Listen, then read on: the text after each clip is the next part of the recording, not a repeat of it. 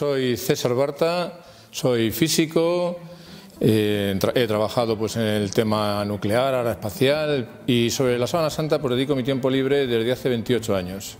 Vamos ahora a contar una cosa muy interesante que no está en los libros, que es una aportación mm, personal y particular basada en la observación de la experta textil eh, Lambert, una suiza que estuvo eh, haciendo la restauración en el 2002 y que estuvo muchas horas delante de la, de la hizo todos los estudios que quería y descubrió que había lo que llama ella un pliegue primitivo. El pliegue primitivo no es eh, el pliegue que actualmente hay más marcado en el centro de la sábana, porque todas las sábanas, cuando hacéis la cama, lo que hacéis es doblarla juntando los bordes y, y doblándola por la mitad. Pues ahí se forma una arruga que es la mitad de la sábana.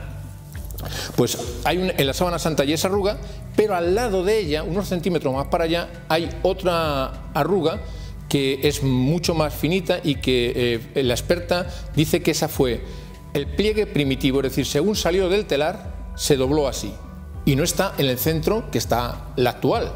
Por tanto, eh, analizando, tirando del el hilo, y nunca mejor dicho porque es un tejido, tirando del hilo de este pliegue primitivo, podemos decir, bueno, eh, suponiendo que salió del, telar y la doblaron por la mitad. Bueno, pues juntaron los bordes. Pues desde, desde ese pliegue hasta un borde en la mitad de la sábana.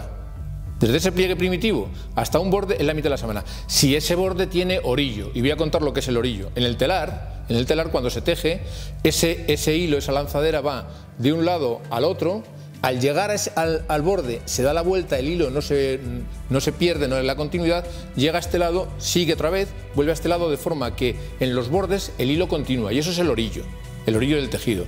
Si fuese un corte, pues estarían ahí en los bordes estarían los hilos rotos sueltos. Bueno, pues en uno de los lados hay un orillo y la distancia desde el pílago primitivo hasta este borde es la mitad de la sábana según salió del telar.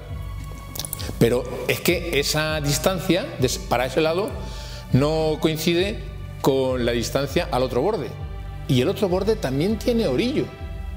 Entonces, es que no lo doblaron por la mitad. Cuidado, eso es muy raro. Que cojan y no lo doblen por la mitad es muy raro. curiosamente lo que pasa es que en el otro lado, a pesar de tener orillo, a pocos centímetros del borde hay una costura. Una costura. Entonces lo lógico es pensar que es que la sábana era más ancha al principio y que la cortaron por el medio, por, al, lado de ese lado, de ese borde que tiene orillo. Vamos a verlo con las imágenes, que es como mejor se entiende. Eh, si hay un lado que tiene orillo y está más distante que el otro de, del otro borde, entonces es que la sábana al principio era más ancha y era un poco más, era el doble de lo que, de, lo que hay a un lado. Lo estamos viendo en las imágenes. Esa costura del lado, si pensamos que es que estaba separada por ahí, pues han retirado una tira intermedia.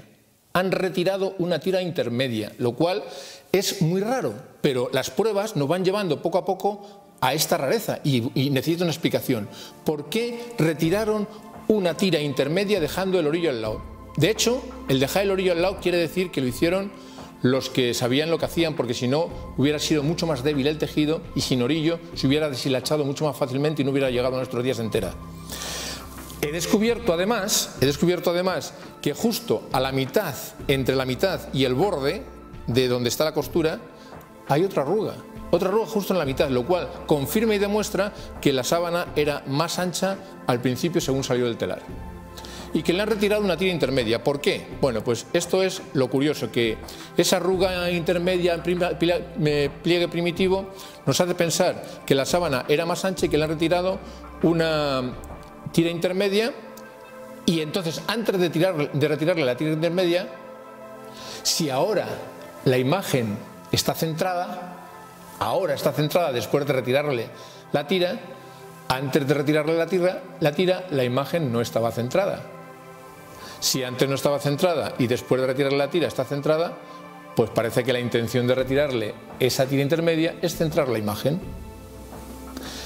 De forma que tirando del razonamiento, si resulta que han hecho esta intervención para centrar la imagen, es que la imagen no estaba centrada y descarta el que fuera de un artista, porque tiene que ser un artista, una, una, paradoja muy grande, un artista que hace una imagen increíblemente perfecta y buena y resulta que no la centra.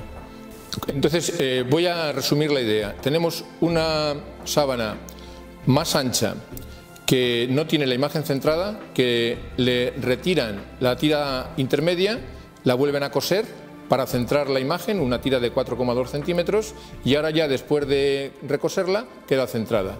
Esto nos induce a pensar que la imagen fue fortuita, que no fue realizada de forma intencionada por un artista. Tirando de la arruga inicial, pues vemos que se sacan conclusiones insospechadas.